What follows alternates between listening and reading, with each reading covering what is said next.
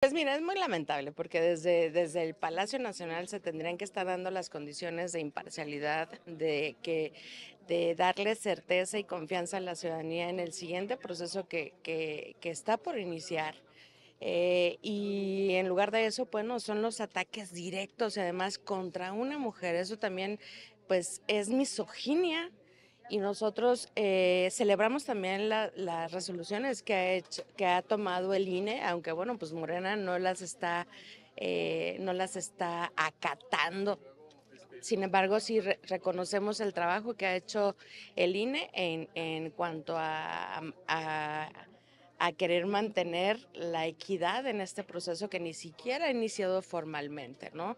Eh, yo sí lamento muchísimo la actitud del presidente eh, de, de, estar atacando día con día con día en las mañaneras a la oposición, al frente y sobre todo pues a, a, una, a una mujer como lo es Xochitl. Los ciudadanos lo están viendo como una opción y yo creo que también nosotros tenemos que mantenernos en este frente pues eh, propiciando las condiciones de equidad. Hay muchos liderazgos que, que creo que... Eh, son valiosos y que se tienen que tomar en cuenta.